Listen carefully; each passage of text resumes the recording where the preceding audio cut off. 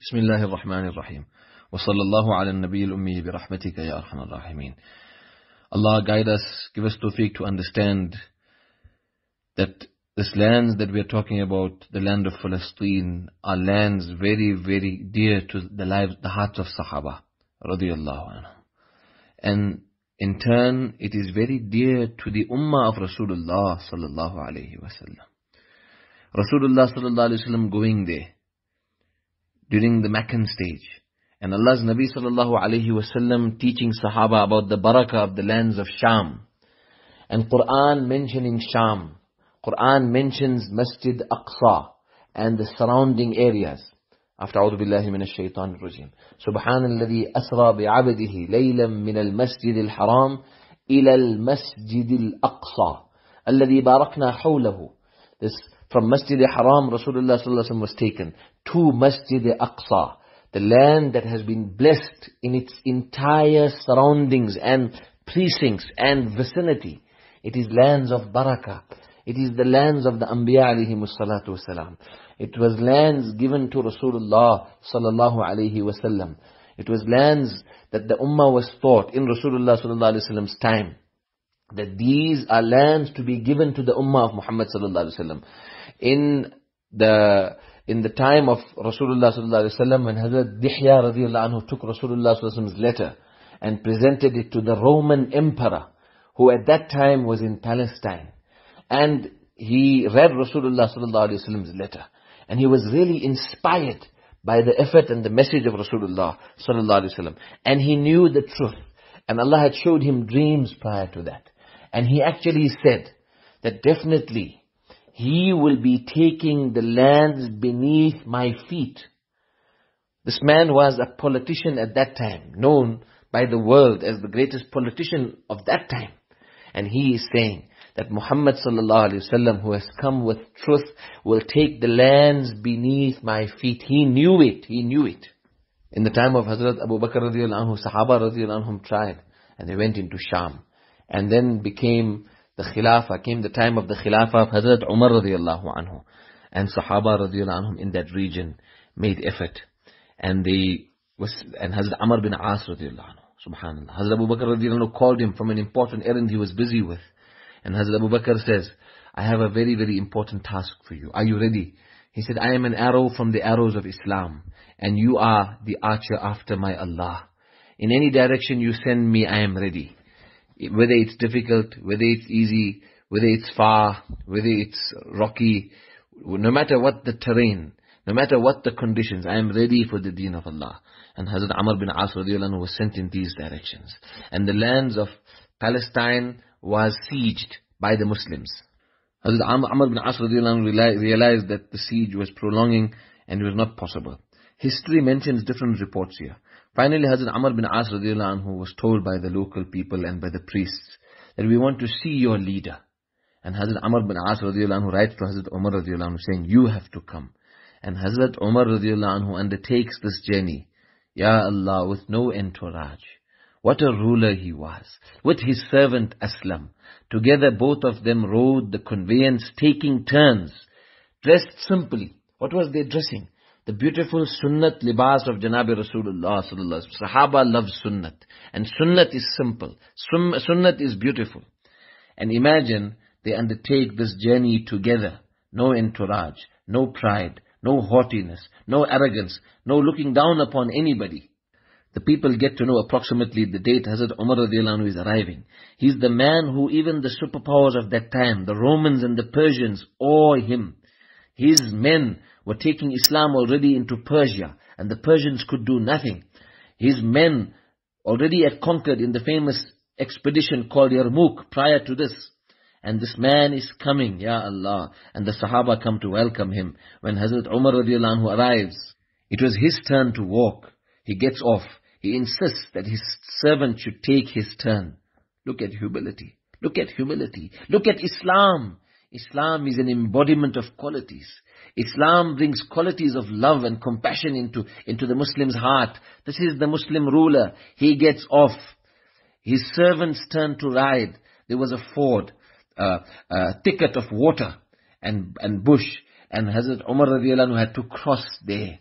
He takes out his leather socks because he didn't want the water to totally go inside it because there was too much of water. And he walked through there. This was a shock to everyone to see. Subhanallah. Hazrat Umar radiallahu anhu says to Hazrat Abu Ubaidah radiallahu anhu that why are you astonished? Remember, we were the most disgraced and downtrodden.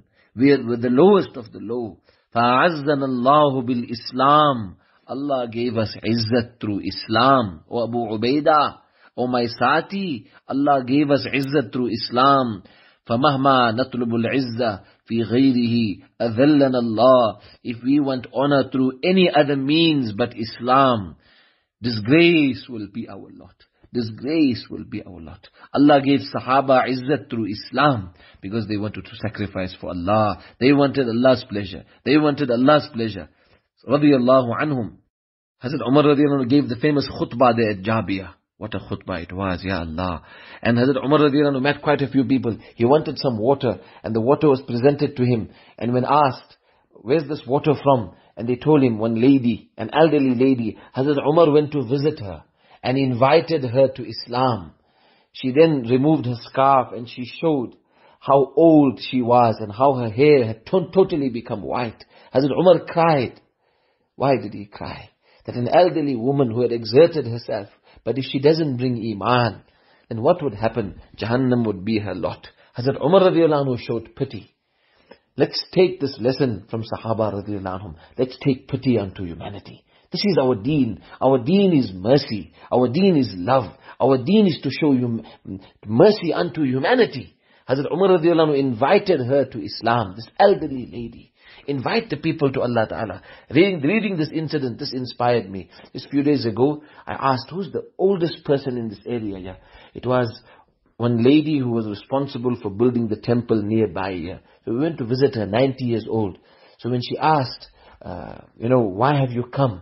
So we said, we said, we come from the masjid to visit you for the pleasure of Allah. And she got so happy. We gave her a gift of kajur and uh, uh, some some kulunji and some figs. And we spoke to her about Allah. She was so touched with, with Islam. And we told her about deen. We gave her some literature. And we made her ikram. And we spoke about Allah subhanahu wa ta'ala. Where we learned this from? This is Sahaba radiallahu anhum's practice. Hazrat Umar radiallahu anhu visited this lady. A man comes to Hazrat Umar radiallahu anhu. This Allama ibn Kathir rahimahullah mentions in Bidayah wa Nihaya. He says, do you remember me? Hazrat Umar radiallahu anhu was reluctant and then remembered. He was a man who, when Hazrat Umar anhu years ago in his youth, it was early, when Hazrat Umar was young in Makkah, it was before the advent of Islam. He was a shepherd of his father's camels. And his father was very rough and harsh with Hazrat Umar. And he would insist that Umar would stay, should stay far off outside Medina in the wilderness, grazing his, his herds of camels. And Hazrat Umar radiallahu anhu, whenever he would go to see to the needs of his aunts, and come back to Makkah to fulfill his own necessities and needs. His father would very, very harshly reprimand him, saying, who would take care of the flock? And Hazrat Umar radiallahu would have to rush back.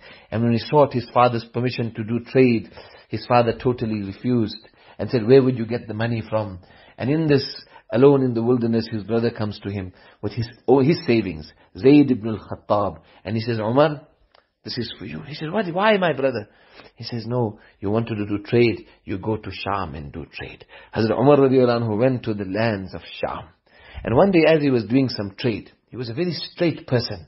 One man comes to him and calls him to do some medial work without any pay. Hazrat Umar says, please excuse me, I'm not here for this, I'm here on trade. But it was the Roman people's nature to look down upon others and belittle them and disgrace foreigners. Allah save us. As Muslims, this is not the trait of a Muslim. A Muslim loves everyone. And if someone comes from far, a Muslim should take more pity on this person. Understanding that this person's father and mother are far away. This person's family is away. We must be family this person, befriend this person and become his brother. And a sister must become her sister and like this serve humanity for Allah's sake. Anyway, Hazrat Umar radiallahu anhu pushed him away and then escaped from there. This man chased Hazrat Umar radiallahu anhu. In this, one priest sees Hazrat Umar running and he pulls him in and he takes him into his monastery and uh, or his church and he then conceals him and when they couldn't fi- find him, he served Hazrat Umar with whatever he could and fed him and took care of him. Hazrat Umar astonished with this. This man then comes with the document saying, please sign this. Hazrat Umar says, why?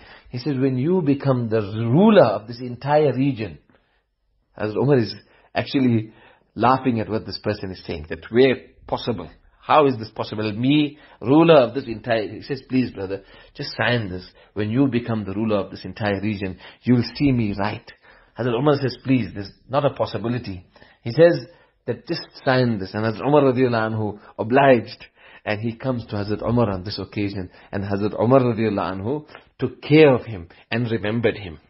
And Ya Allah, when the priests saw and the bishops and the clergy saw Hazrat Umar radiallahu anhu, they were shocked at his appearance, his akhlaq, his way. He came in, the keys of Palestine was handed over to Hazrat Umar anhu.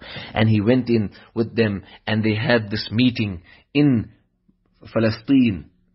And by the famous church of the Christians, Kanisatul Qiyamah, this document was written where there was a peace treaty where Muslims would take over and the Christians would be given amnesty and peace and they would be given the permission to actually practice their religion and come for their pilgrimage and they would be respected for their religion and they would be given the protection of Allah Ta'ala and they would be given the protection of His Messenger Sallallahu Alaihi Wasallam and the Khulafa as long as they pay the jizya. It was such an amazing treaty of respect. It's written in the letter that Hazrat Khalid radiallahu anhu, Hazrat Amr bin As, Hazrat Abdul Rahman bin Auf radiallahu anhum witnessed the letter and Hazrat Abdul Rahman and Hazrat Muawiyah radiallahu wrote and documented the letter. Then came the time of Salah and the bishops insisted that Hazrat Umar pray right there. Hazrat Umar radiallahu refused. He says, this is not where I will pray. And when asked why, he says, I do not want anybody to claim the right of this church of yours. Allahu Akbar, the respect and the beauty of Islam. The day insisting that Hazrat Umar radiallahu makes salah right there, and he refuses. And look at his reason. That later on, Muslims mustn't claim this land, saying that my, our Amir, our leader, our Khalifa prayed here. Hazrat Umar anhu went further, quite a few meters out from there, and that's where he performed salah. And there was an area respected by the Jews and it had become a dump. It was maintained as a dump by the, by the Christians. Like Kanisatul Qiyamah, the, the, the holy church of the Christians, was held as a dump by the Jews prior to that. Islam showed respect to everyone. The Jews had referred to Qiyamah as Qumama, a dump. And they had kept a, uh, the, the, the holy place of the Jews to be a dump. But in Islam, we respect all the Anbiya alayhim salatu wasalam. Hazrat Musa alayhi salam, who's mentioned in the Quran 136 times. Hazrat Isa alayhi salam, who's mentioned in the Quran 25 times. And all the Anbiya alayhim salatu wasalam. Hazrat Sulaiman alayhi salam. Hazrat Dawood alayhim salatu wasalam. Our love for every Nabi of Allah. And Quran came to liberate and preserve and uphold the reputation of every Nabi of Allah unlike the Bible that was given to the people. And people, according to their whims and fancies, changed the words of Allah subhanahu wa ta'ala. Allah ta'ala save us. Islam has been preserved. The Quran Kareem has been preserved by Allah subhanahu wa ta'ala. And alhamdulillah, Muslims cleaned that area where the Jews used to pray. And alhamdulillah, Allah ta'ala preserved these lands. And the people lived and all people, whether Jews, whether Christians, came to Palestine after that, peacefully, under the care and under the protection of the Muslims. This became the lands of the Muslims. Something else very interesting happened there, that the bishops told their people that we'll never be able to conquer the Muslims until opulence and defiance and disobedience and sinful lives become rife in them then they will lose the help of Allah subhanahu wa ta'ala. Something else historians mention that was very interesting, that the bishops and the Christians tried to make Sahaba fall into sin. But they didn't realize these are people who have the taqwa of Allah in their hearts. So one report mentions that as Sahaba would come and go, woman and sin was made available to them. But Sahaba would encourage each other. From the time they left the residence they were staying to the masjid and back, they would have the consciousness of Allah all the time. Ittaqullah, they would say. And the Christians realized that these are people of a different level. That's how they have Allah subhanahu wa ta'ala on their side. And for years to come, the world lived peacefully under Muslims. The Christians came for their pilgrimage, and they came happily, up till the year 493, in accordance to 1099, meaning the Gregorian calendar, where Crusaders at that time, in a barbaric manner, came and with savagery and brutality harmed every person, whether man, woman, or child. And the saddest part was the Shia who were ruling Egypt at that time helped them and accommodated them and supported their arrival into the lands of Ahlul Sunnah. Allah Ta'ala save us. But then there was no one to defend the lands of the Muslims at that time, the lands of Sham, and Allah Ta'ala then used the Zingi family, Imaduddin Zingi rahimahullah, and his son Mahmud Nuruddin Zingi. Then amazing was how Allah Ta'ala made it happen that this family met up with the Ayyubid family. The Ayyubid family were rulers of a, a citadel in Takrit. And Imaduddin was returning on battle and he was being chased. And Najmuddin Ayyub, the father of Yusuf Salahuddin, the famous Yusuf Salahuddin, who wasn't born yet at that time. But as Imaduddin was in his retreat, Najmuddin and his brother Shirkuh welcomed them and sent boats across to allow them, to bring them in. And he welcomed them and treated their wounds and assisted them. Years later, when Najmuddin had faced a difficulty and he was told to depart and leave the fortress that he ran and ruled, he didn't know where to go. And he realized that the only place he can go to is Imaduddin, rahimahumullah. And that was the night where a child was born in his family. And his wife saw a dream to name him Yusuf. But he was upset that a child born on this night, he felt the child is not going to live. But his brother Asaduddin Shirkuh saw promising signs and symptoms in this child. Anyway, they reached Imaduddin. Imaduddin welcomed them. And he was a great warrior for deen who defended Islam in those regions and managed to liberate many lands of Sham for the Muslims from the Crusader oppressive hands at that time. He was doing a great service to, to Islam because then also the Ayyubids and the Zengids were united and Yusuf Salahuddin grew up in front of Imaduddin. And then as Imaduddin was in the way of Allah, defending the lands of Islam, one night he was in his tent, and there was a man who was his servant, but historically he was a Batinite. That was one of the titles of the Shia. He was implanted there to act like his of service to Imaduddin, and in his sleep he assassinated Imaduddin rahimahullah. This is what things they would do, what brutality. And the saddest part is when Christians would come in and decimate and destroy lands like Antioch and destroy Muslims and kill them and, and bride their children and so forth. People like the Shia would then uh, commemorate them and congratulate them. So it's so sad to actually understand the reality that becomes so apparent through history.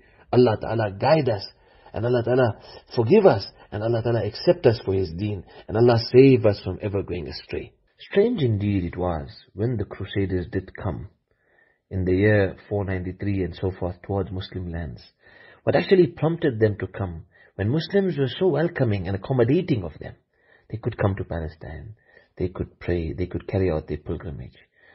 But the papacy had realized that the wrath of the people was being unleashed against their own leaders, meaning in, in Europe and in Rome and in Constantinople at that time. And they were really jealous that Muslims' lands had become so advanced in every respect. And in Europe up till that time, it was still the Dark Ages, medieval Europe. We didn't, they didn't even know about basic necessities like soap and so forth. Muslims had every sort of advancement in technology. Europe didn't even know what was having windows in the house. For smoke to come out, it was a little hole on top of the roof like a chimney to take out the smoke. Even so many people would die in childbirth. They didn't have technology as far as medicine. And they had envied the Muslims. And the Pope then realized that we had to unleash the wrath of their people some way. And then he started giving three pages of forgiveness, Hukukul Maghfirah, to say that if you go to these lands, because they had to forge untrue incidents about Muslims. And this is what they do when they want to actually carry out their sinister plans. and saying that because of Muslims injustices and so forth and so forth, we have to go. And then they were supported by the Shia. But this is a sad reality where they came in and how they, they dealt with Muslims when, and the, the way they did it. Muslims were totally unprepared. And also sadly, when amal becomes weak in Muslims, then we lose the help of Allah subhanahu wa ta'ala also until we come back onto the deen of Allah ta'ala and our goal and our unity then we regain the help of Allah subhanahu wa ta'ala. Because Allah's help is not just with Muslim. Allah's help is with amal. Allah's help is with action. Allah's help is with obedience. Allah's help is when we prioritize the deen of Allah and we remember the goal and the objective for which we live. When Imaduddin rahimahullah became shaheed, Allah Ta'ala then used Mahmud Nuruddin. Mahmud Nuruddin, who was the son of Imaduddin. And then he then led this effort and under him was the, the, the Ayyubids, and they ruled from Damascus and Halab, the Shami region. And then there was a time where the Shias had become very, very weak, and they realized the reality of the Crusaders, who had ruled Egypt all, uh, had ruled Palestine all along for these last quite a few years, and they were trying now to take Egypt. And they had asked the help for the help of Nuruddin. Nuruddin rahimahullah helped them. He sent Asaduddin Shirkuh with his nephew Yusuf Salahuddin to assist them. But the minister of Egypt, Shawar, showed treachery to Nuruddin's men. Anyway, they had returned and then they asked for help in future again. And again Nuruddin complied. But Nuruddin realized that until he unites Egypt and Sham, he would not be able to liberate Masjid al-Aqsa and Palestine. The history here becomes so interesting on how Allah used Salahuddin Ayyubi rahimahullah to protect and preserve Egypt.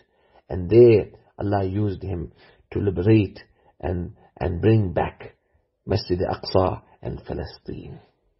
Something interesting about Al-Malik al-Salih Nuruddin. His name was Mahmud. And he would strive in the path of Allah subhanahu wa ta'ala. And he used to beg the help of Allah subhanahu wa ta'ala. At times he would say, Oh Allah, who is Mahmud al-Kalb? You help your deen. What can Mahmud do? And when he would strive in the path of Allah, he would be in the front row. And when they would say, what would happen to Islam if anything would happen to you, O Sultan Nuruddin? He would say, what? How can you utter such a thing? So disrespectful to the deen of Allah. What happened when greater people than me left this world? Allah preserved this deen because this is Allah's deen.